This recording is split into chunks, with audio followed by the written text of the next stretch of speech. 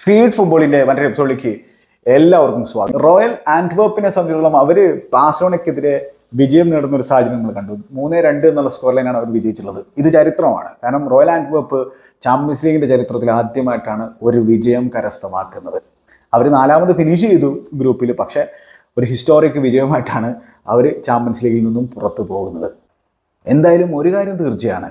ഈ റോയൽ ആൻഡ്വേർപ്പ് നല്ല രീതിയിൽ തന്നെ കാശുണ്ടാക്കും ട്രാൻസ്ഫർ മാർക്കറ്റിൽ പ്രത്യേകിച്ച് ഈ ആർത്തർ വെർമീനെയും അതുപോലെ തന്നെ ജോർജ് ഇലനിക്കേനെയും വിറ്റിട്ട് എന്നുള്ളതാണ് ഞാൻ മനസ്സിലാക്കുന്നത്. ഇപ്പോൾ ഈ ആർത്തർ വെർമീനെ സംബന്ധിച്ചിടത്തോളം എന്താണ് ഫാബ്രിസ് റൊമാനൊക്കെ റിപ്പോർട്ട് ചെയ്യുന്ന രണ്ടായിരത്തി ഇരുപത്തിനാലിൽ അദ്ദേഹം പോകുന്നുള്ളതാണ്. അത് ചിലപ്പോൾ ജാനുവരിയിലാകാം അല്ലെങ്കിൽ സമ്മറിലാകാം എന്നുള്ളതാണ്. പക്ഷേ നല്ല തുക തന്നെ പിന്നെ ബെൽജിയം സൈഡിന് ലഭിക്കും. കാരണം കിഡിലൻ ആണ്. പതിനെട്ട് വയസ്സ് മാത്രമേ പ്രായമുള്ളൂ. ചാമ്പ്യൻസ് ലീഗിൽ റോയൽ ആൻഡ്വേപ്പിന് വേണ്ടിയിട്ട് എല്ലാ മത്സരങ്ങളും എല്ലാ മിനിറ്റ്സും ഈ ഒരു സീസണിൽ അദ്ദേഹം കളിച്ചിട്ടുണ്ട്. മാത്രമല്ല ആ പോർട്ടോക്കെതിരെ ക്യാപ്റ്റൻ സാമ്പാൻഡും ധരിച്ചിട്ടുണ്ടായിരുന്നു ചാമ്പ്യൻസ് ലീഗിൽ. ഇപ്പോൾ ആ ബാസോണക്കെതിരെ ഫസ്റ്റ് ഗോൾ അദ്ദേഹമാണ് അടിച്ചിട്ടുണ്ടായിരുന്നത്. ഒപ്പം ആ മത്സരത്തിലെ മാൻ ഓഫ് ദ മാച്ച് അവാർഡും അദ്ദേഹത്തിനാണ് ലഭിച്ചിട്ടുണ്ടായിരുന്നത്.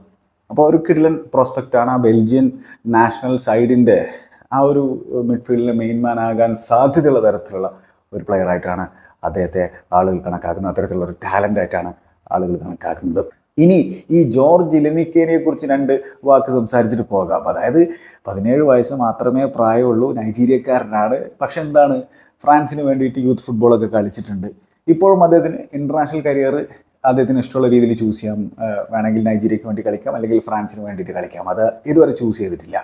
എന്തായാലും ക്ലബ് കരിയർ അദ്ദേഹം ഇപ്പോൾ ബെൽജിയത്തിലാണ് നടത്തിക്കൊണ്ടിരിക്കുന്നത്. ഒരു ഇമ്പാക്റ്റ് അവിടെ ഉണ്ടാക്കുന്നുണ്ട്.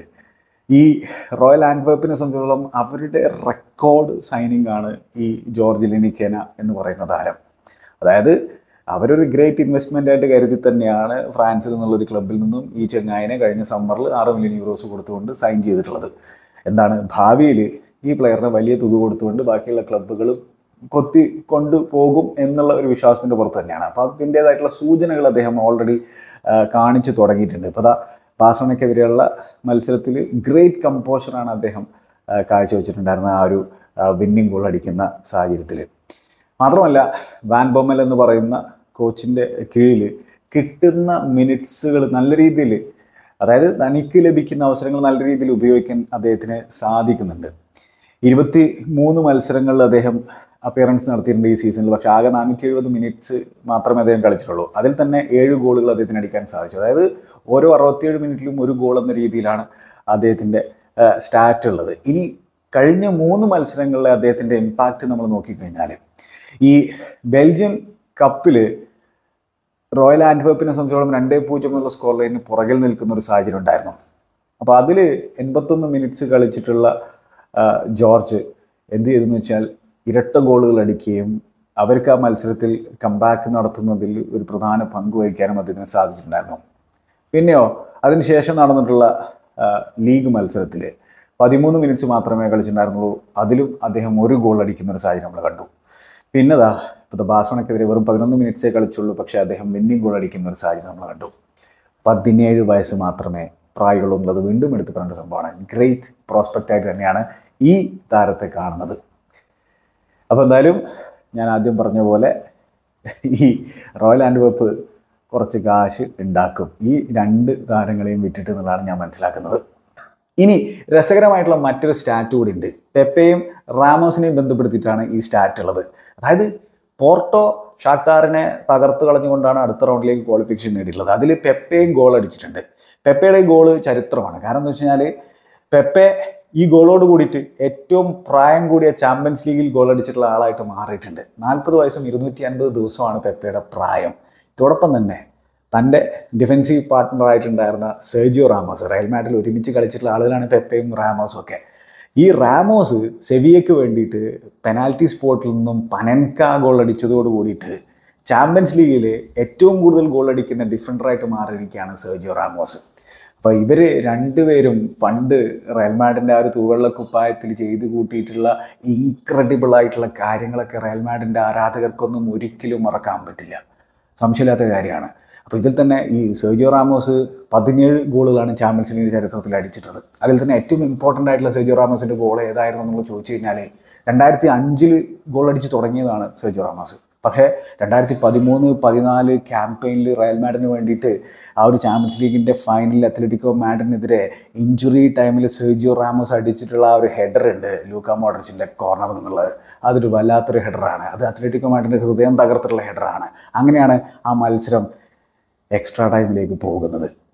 അതായത് രണ്ടായിരത്തി ഒന്ന് രണ്ട് സീസണിന് ശേഷം റയൽ മാഡിന് വീണ്ടും ടൈറ്റിൽ നേടിക്കൊടുത്തിട്ടുള്ള ആ ഒരു ക്യാമ്പയിനിൽ ആ വളരെ ക്രൂഷ്യലായിട്ടുള്ള മൊമെന്റിൽ ആ ക്ലച്ച് ഗോൾ അടിക്കാൻ സെർജിയോ റാമോസിന് അന്ന് സാധിച്ചിട്ടുണ്ടായിരുന്നു. പിന്നെയാണ് മത്സരം എക്സ്ട്രാ ടൈമിലേക്കൊക്കെ പോയിട്ടുണ്ടായിരുന്നത്. അപ്പോൾ ലാ ഡെസിമ റയൽ മാഡിന് നേടിക്കൊടുക്കുന്നതിൽ പ്രധാന പങ്ക് വഹിച്ചുള്ള മനുഷ്യനാണ് സെർജിയോ റാമോസ് അദ്ദേഹത്തിന്റെ ചാമ്പ്യൻസ് ലീഗ് ഏറ്റവും ഇമ്പോർട്ടന്റ് ആയിട്ടുള്ള ഗോൾ അതായിരിക്കുന്നതാണ് എന്റെ ഒരു കാഴ്ചപ്പാട്. ആ ഒരു ഗോൾ സെർജിയോ റാമോസിന്റെ ചാമ്പ്യൻസ് ലീഗ് കരിയറിലെ ഏറ്റവും ഇമ്പോർട്ടന്റ് ഗോളാണ് എന്ന് പറയുന്നതിനോടൊപ്പം തന്നെ റയൽ മാഡിന്റെ കഴിഞ്ഞ ഡെക്കേഡിലെ ഏറ്റവും ഇമ്പോർട്ടന്റ് ഗോളുകളിൽ ഒന്ന് തന്നെയാണ് എന്നുള്ളതാണ് ഞാൻ മനസ്സിലാക്കുന്നത്. കാരണം റയൽ മാഡിഡ് എന്താണ് ഒരു ഡെക്കേഡോളം നീണ്ടു നിൽക്കുന്ന ആ ഒരു ചാമ്പ്യൻസ് ലീഗ് വരൾച്ച അവസാനിക്കുന്നത് അല്ലെങ്കിൽ അവസാനിപ്പിക്കുന്നത് ആ ഒരു വർഷമാണ് ആ ഒരു സീസണിലാണ് അതിനുശേഷം അവർ നേടിയെടുത്തുള്ള ചാമ്പ്യൻസ് ലീഗുകളുടെ എണ്ണം നോക്കിക്കഴിഞ്ഞാൽ മതി.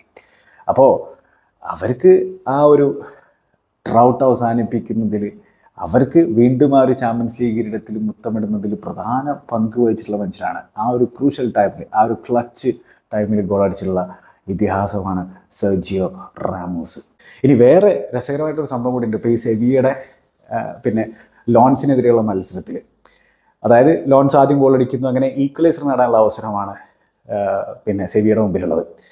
അപ്പോൾ പെനാൽറ്റി എടുക്കാൻ വരുന്നത് സെർജിയോ റാമോസ് ആണ് അപ്പോൾ ബാംബ എന്ന് പറയുന്ന കീപ്പറാണ് ലോൺസിന്റെ കീപ്പർ സെർജിയോ റാമോസ് ആദ്യം കിക്ക് എടുക്കുന്നു.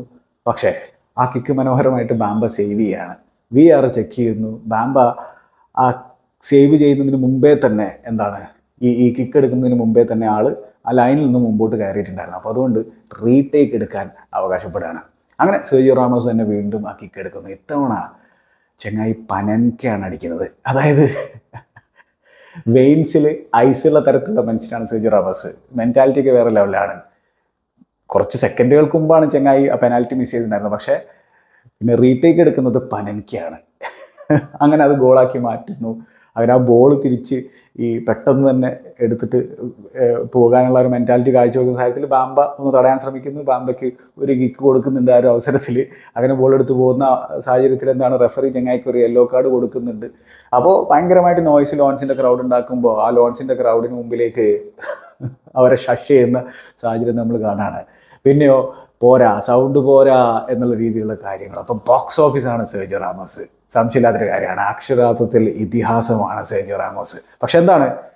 അദ്ദേഹത്തിന്റെ സെവിയയിലേക്കുള്ള തിരിച്ചുവരവും സെവിയയുടെ ചാമ്പ്യൻസ് ലീഗ് ക്യാമ്പയിനും വളരെ ഡിസപ്പോയിന്റിംഗ് ആയി. കാരണം അവർക്ക് യൂറോപ്പ ലീഗിലേക്ക് പോലും പ്രവേശനം നേടാൻ സാധിച്ചില്ല. ഈ മത്സരത്തിൽ വിജയിക്കേണ്ട ഒരു സാഹചര്യം ഉണ്ടായിരുന്നു. പക്ഷേ രണ്ടേ ഒന്ന് എന്നുള്ള സ്കോളിന് അവർ പരാജയപ്പെട്ടു. ഇഞ്ചുറി ടൈമിലാണ് അവർ ആ ഒരു പിന്നെ ഗോൾ കൺസീഡ് ചെയ്തിട്ടുണ്ടായിരുന്നു അതിന് മുമ്പ് സെജു റാമോസിന് ഒരു അവസരമൊക്കെ കിട്ടിയിട്ടുണ്ടായിരുന്നു ഗോൾ അടിക്കാനുള്ളത്. പക്ഷേ എന്തായാലും ഇത്തരത്തിലൊരു മൊമെന്റും പറഞ്ഞിട്ടുണ്ടായിരുന്നു ഈ ചാമ്പ്യൻസ് ലീഗിന്റെ ഗ്രൂപ്പ് ക്യാമ്പയിനിൽ അപ്പോൾ അത് ഒരു രസകരമായിട്ടുള്ള സംഭവമായി. അപ്പോൾ അതാണ് നിങ്ങളോട് ഞാൻ പറഞ്ഞത്. അപ്പോൾ സെജു റാമോസ് എന്നൊക്കെ പറഞ്ഞാൽ അക്ഷരാർത്ഥത്തിൽ ബോക്സ് ഓഫീസാണ് പിന്നെ ഈ പെപ്പയും സെജു റാമോസും ഒക്കെ കൂടുന്ന സാഹചര്യത്തിൽ വാറാണ് അക്ഷരാർത്ഥത്തിൽ. വാർ യുദ്ധമാണ്.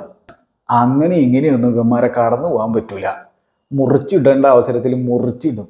അതാണ് സെർജിയോ റാമസും പെപ്പയൊക്കെ അതുപോലെ റീക്കോ ലൂയിസ് അസിസ്റ്റ് പ്രൊവൈഡ് ചെയ്തിട്ടുണ്ട്. റീക്കോ ലൂയിസിനെ ഇപ്പം നമുക്ക് എല്ലാവർക്കും അറിയുന്നതാണ്. അപ്പോൾ ഈ മാൻസിറ്റിയുടെ അക്കാഡമി കിഡിലൻ ഫുട്ബോളേഴ്സിനെ ഇങ്ങനെ ഉണ്ടാക്കിക്കൊണ്ടിരിക്കുകയാണ്. അപ്പോൾ അവരുടെ അക്കാഡമിക്ക് നമ്മൾ ക്രെഡിറ്റ് കൊടുക്കേണ്ടതായിട്ടുണ്ട്.